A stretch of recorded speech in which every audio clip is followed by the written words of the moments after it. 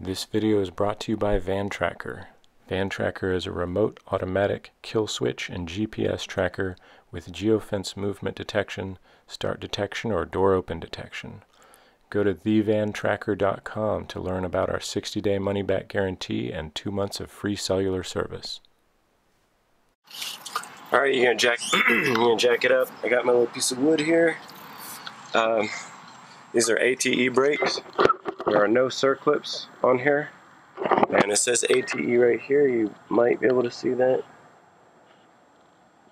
Uh, anyway, um, this is what the backs of them look like. Pads are just about done. Rotors are done. Um, now we're going to take off these uh, caliper bolts. Here's the bottom one. Here's the top one. Um, they're torqued to about 115 foot-pounds. Uh, and what size are they? I think they're 19. It's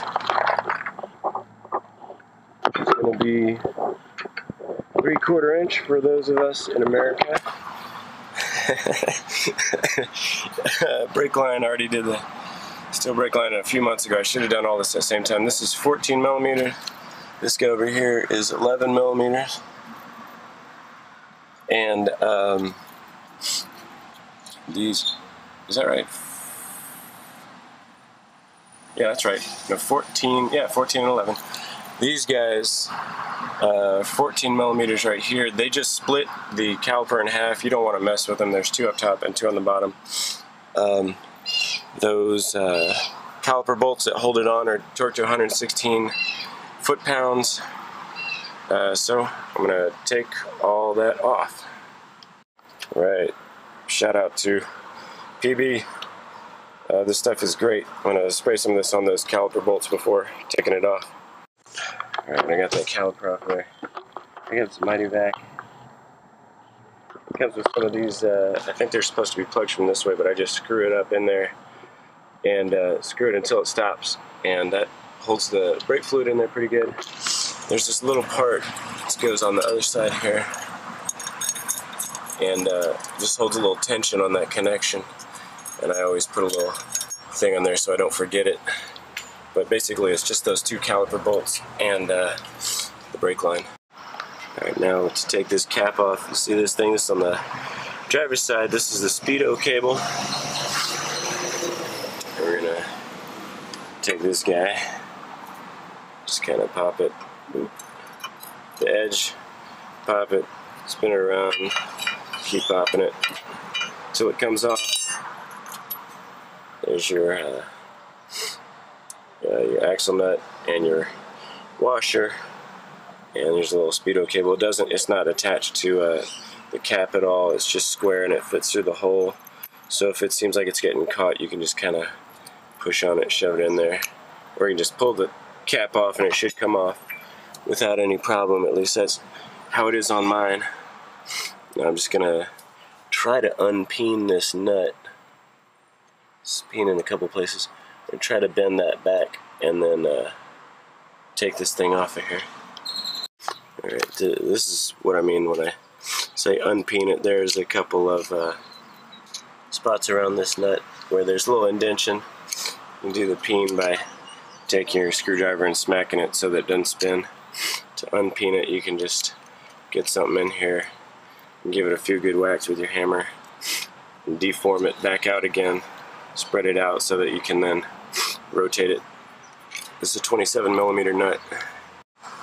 Alright, well, anyway, here's what this looks like without the threads on it. It's got these slots in the top and the side and the bottom. And that's where you can peen it. And I think it's important to try to unpeen it because when you rotate it, uh, if you just real hard, you just crank it off there, you're potentially going to screw up these threads and the nut versus the hub, the nut is probably going to win, and the hub, you might destroy these threads. Um, so anyway, I think that's why the these grooves are so deep, so you can stick something in there, and jam it, and unpeen it. Here's this uh, thrust washer. I'm going to save this. That nut you're going to throw away. You're going to, uh, I don't know, call your VW guy and get some more of those, a couple more of those nuts. And now uh, we're gonna put this over there. Now I can pull this guy off, and there's the uh, inside bearing. The outside bearing's on the other side. Might as well just pull it off. What the hell? Just somewhere clean. Put it in there. Alright. It's not great. That's pretty brown.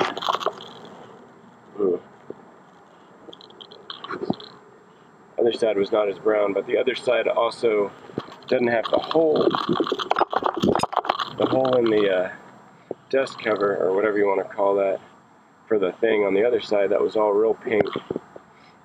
Hopefully that's not a sign of my bearings being shot, because they're relatively new bearings.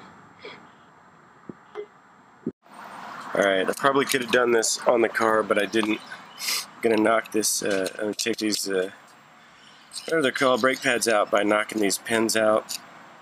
And you just uh, take a hammer, knock it out, screwdriver, bam, comes out this side, spring comes out, pads come out, and then I'm gonna compress one of the pistons with a vise here, probably one on either side.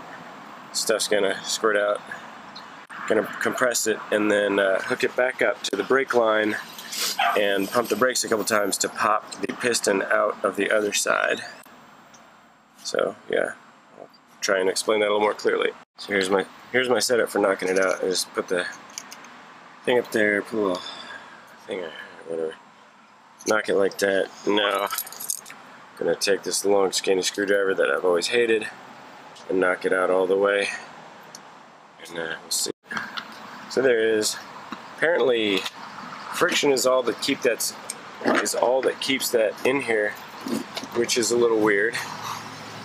And then pull the pins out, pull the spring out, pull the pads out. In theory, at least. Alright, so I pull the pads out, and here's the pistons. Just a little piston boot. I'm gonna take my vise here, squish this piston back in, and it's probably gonna squirt out some uh, oh shit there it goes. Actually let's see if I can just squeeze it in my hand. I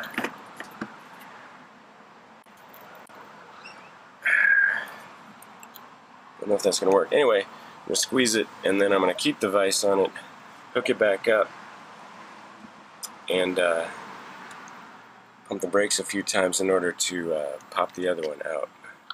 Squeeze one side pump the brakes, and then the other side will just keep coming out, pop out eventually. Alright, here's my setup. Got my vise. Uh, squeeze that in there. Now this side's going to come out.